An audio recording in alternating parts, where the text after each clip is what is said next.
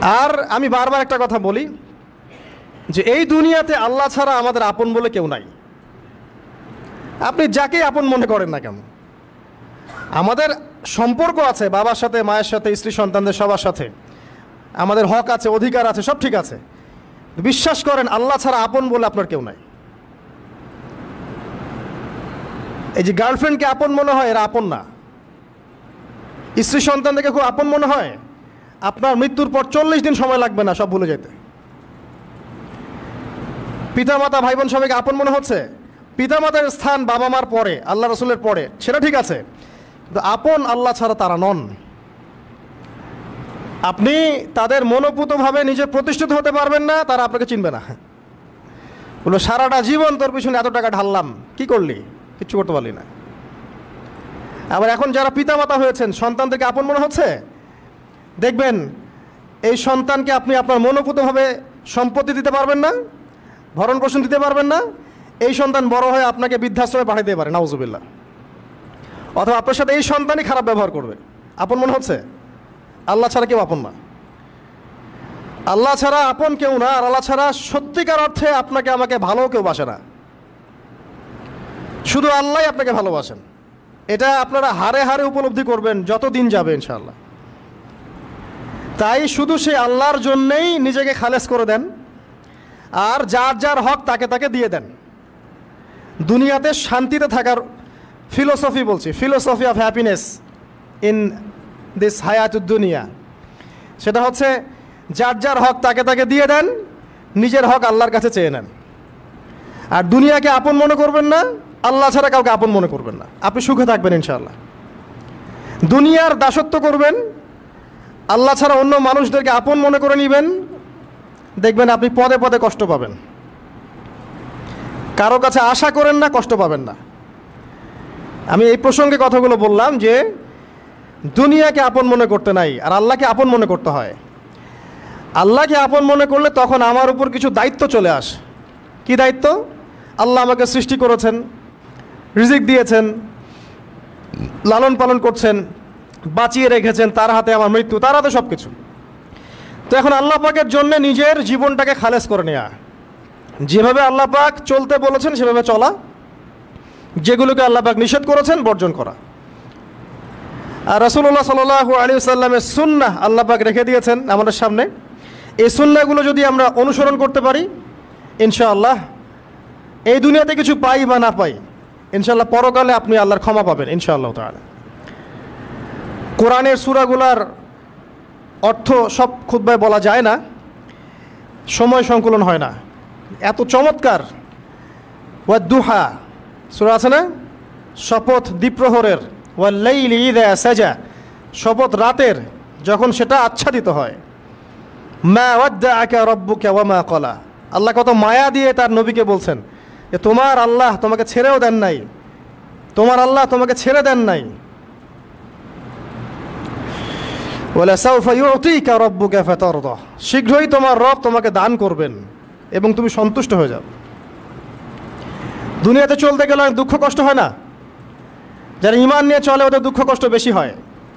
তা আল্লাহ বলছেন, টেনশন করো না, কষ্ট পেও না, তোমার রব তোমাকে ছেড়ে দেননি। বলে, সাউফা তোমার রব তোমাকে শীঘ্রই দান করবেন, আর তুমি সন্তুষ্ট হয়ে যাবে। আলাম ইয়াজিদকা ইয়াতীমান ফাআওয়া? আল্লাহ বলছেন, আল্লাহ কি তোমাকে এতিম রূপে পাননি? এরপর আল্লাহ কি তোমাকে প্রতিপালন করে বড় করেননি? ও বাজা দেখা দল্লান ফাহাদা। আল্লাহ কি তোমাকে পথভ্রষ্ট পান নাই? তোমাকে আল্লাহ পাক হেদায়ত দেন নাই? তো আল্লাহ যে এগুলো করেছেন, সে আল্লাহ তোমাকে পরকালে ইনশাল্লাহ ভালো রাখবেন। ফাম্মাল ইয়তিমা ফালা তাকহার। তো তুমি এতিমদের প্রতি কঠোর হয়েও না। ওয়াম্মা সাইলা ফেলা তানহার। কেউ চাইলে তার হাতকে খালি ফিরিও না, ধমক দিও না। ওয়াম্মা বিনিআমাতি রব্বিকা ফাহাদ্দিস। তোমার রবের এই এই সমস্ত নিয়ামতগুলো তুমি মানুষের কাছে বর্ণনা করতে থাকো। এর পরের সুরার দিকে খেয়াল দেখবেন, সুরা নাশরাহ লাকা সদরক। মনে হয় দুটো একটা আরেকটার সাথে পেয়ার আলাম নাশরাহ লাকা সদরক। আমি কি তোমার হৃদয়কে প্রশস্ত করে দেই নাই? ওয়াদানা আনকা উজরক। তোমার বোঝাগুলো হালকা করিনি? কাকে বলছেন এগুলো আল্লাহ পাক? রসুল্লাহ সাল্লাহ তো যে মানুষটা জান্নাতে যাবে নিশ্চিত, এবং যিনি জান্নাতের দরজা না খুললে জান্নাতের দরজা কারও জন্য খোলা হবে না। যে মানুষটা হচ্ছে ভদ্র স্মার্ট বিচক্ষণ, কোনো মানুষ পৃথিবীতে নাই। সকল ধর্মের মানুষ মানে এটা। কিছু আছে, শয়তান, মানুষ টুবি শয়তান, এরা মানে না বাট দেখবেন ম্যাক্সিমাম মানুষই মানে। হোক সে ইহুদি বা খ্রিস্টান বা হিন্দুইজম বা মুসলিমরা তো মানেই, সবাই মানে। যে মুহাম্মদ সাল্লামের মতো স্মার্ট বিচক্ষণ, ভদ্র সুচরিত্রের মানুষ পৃথিবীতে কোনোদিন আসেও নি, আসবেও না। তো সেই নবীর জীবনটা আপনি পড়ে দেখবেন, আর রাহিকুল মাখতুম বইটা, যে চড়াই আর উত্তরাই খালি দুঃখ, কষ্ট, যন্ত্রণা, লাঞ্ছনা কন্টিনিউয়াসলি আমাদের নবী সাল্লাহ আসলাম তো এক মাস শান্তিতে ঘুমানো নাই নবী হওয়ার পরে। যখন তিনি মারা যান, ফাতিমা রাজিয়াল্লাহ আনহার কথা মনে আছে না? কানে কানে কি জানি বললেন? তখন আমাদের নবী একটা কথা বলেছিলেন। আমি এই বয়সে সে কথাটা বুঝি। মাদ্রাসা লাইফে, ইউনিভার্সিটি লাইফে বুঝিনি। নবীজি বলেছিলেন তার মেয়েকে, ফাতিমা রদিয়াল্লাহ আনহা তার কষ্ট দেখে কান্নাকাটি শুরু করলেন। আমাদের নবীজি তাকে কাছে ডেকে বললেন, কানে কানে, যে, কি জানি একটা বললেন। তারপর ফাতিমা রদিয়াল্লাহ আনহা চুপ করে গেলেন। তো পরে জিজ্ঞাসা করা হলো, কি বলেছিলেন? তিনি বললেন, আল আব্বাজান বলেছেন, আজকের পর তোমার আব্বার কোনো কষ্ট থাকবে না। আর তুমি আমার পরিবারের মধ্যে সবার আগে আমার সাথে সাক্ষাৎ করবে। এই যে আজকের পর আমার আব্বার আর কোনো কষ্ট থাকবে না, এর মানে বোঝেন মানে সারাটা নবমী জীবন কত যে কষ্ট নবী সাল্লামকে সহ্য করতে হয়েছে। আজকে জান্নাতে যাওয়ার দিন, আজকে আর তোমার আব্বার কোনো কষ্ট থাকবে না। এই মানুষটার যদি এই অবস্থা হয়, তাহলে আমরা কি? আল্লাহবাক সেই মানুষটাকে এই সুরা দুটা শোনাচ্ছেন। আমি কি তোমাকে এতিম পাই নাই? তোমাকে পথভ্রষ্ট পাই নাই? হেদায়ত দেই নাই? ভরণ পোষণ করিনি? আমি আল্লাহ তোমাকে ছেড়ে দেই নাই? শীঘ্রই তোমাকে দান করব। হ্যাঁ তোমার বোঝাকে আমি হালকা করিনি। ফাইন্নামা আল উসরি ইউসরা আল ইউসরি ইউসরা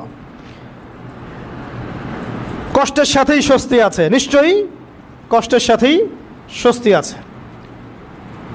ফাইদা ফরকতা ফাংসব ওয়াইলা রব্বিকা ফরগব।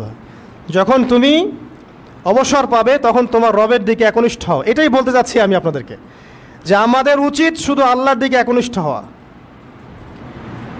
দুনিয়াকে ভালো না বাসা, কিচ্ছু না দুনিয়াটা।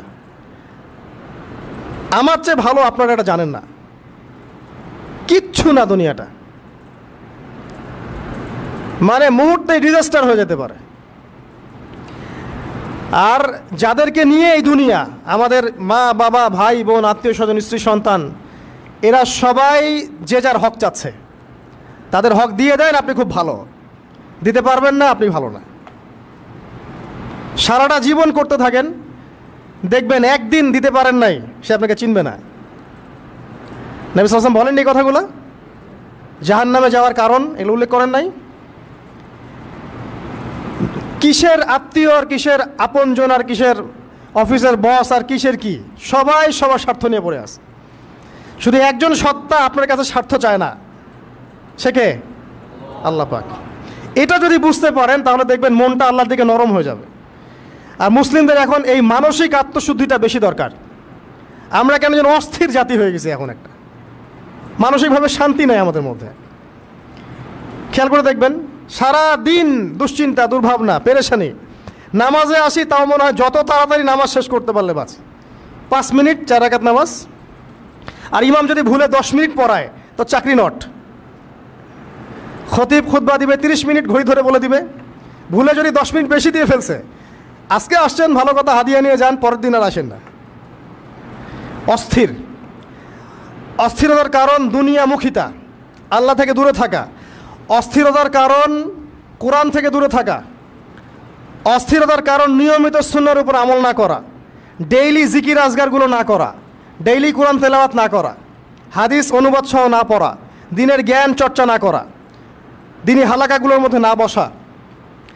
অস্থিরতার অনেক কারণ, টাকা পয়সার পিছনে ছোটা বাড়ি গাড়ি স্ট্যাটাসের পিছনে ছোটা এবং এই লোভ, এই লালসা আপনাকে স্থির থাকতে দিবে না।